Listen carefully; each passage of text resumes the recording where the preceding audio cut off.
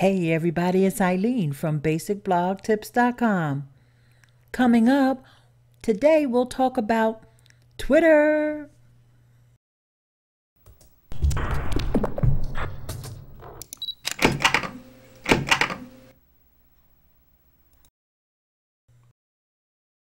Have you ever thought about running an ad on Twitter?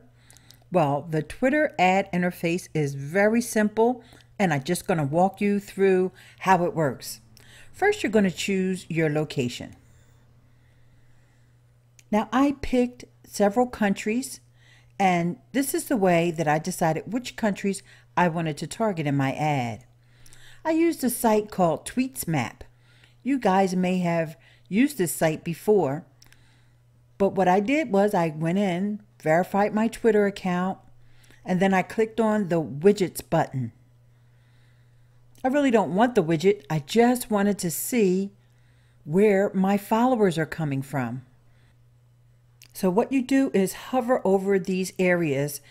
See there's 8.2 coming from the UK and 7.8 coming from India.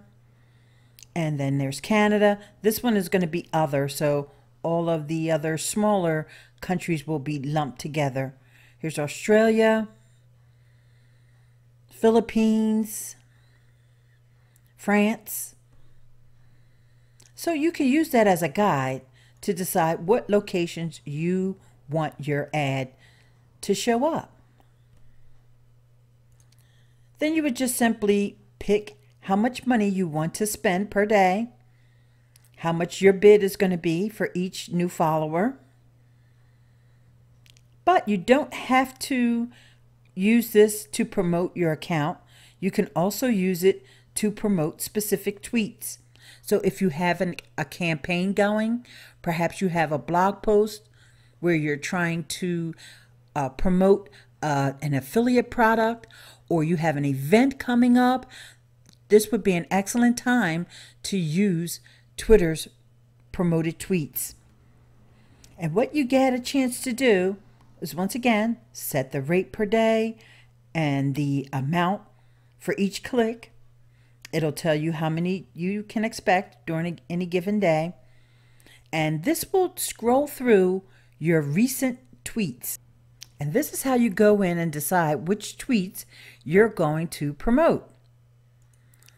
If you've recently tweeted something that you're not interested in promoting, you would just say, never promote this tweet, and it'll pick up the next one.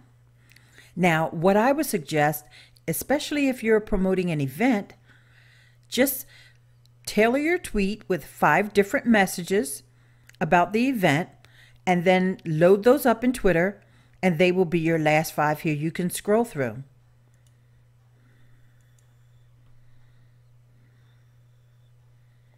Then you would just enter your payment information.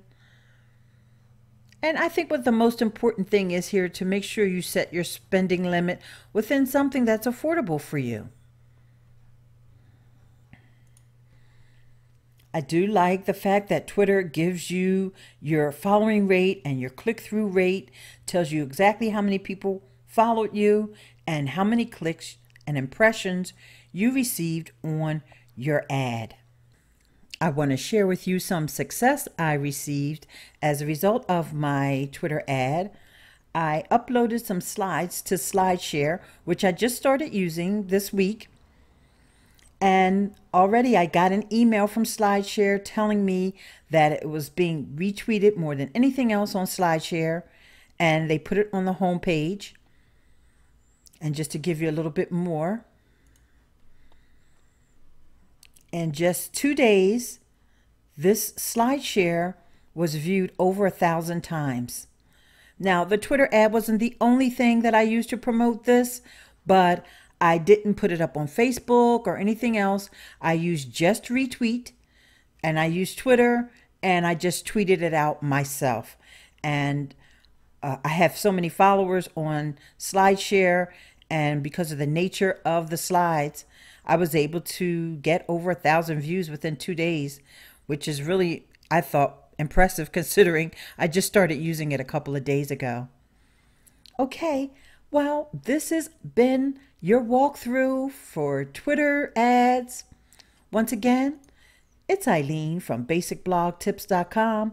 You can follow me on Twitter at basicblogtips.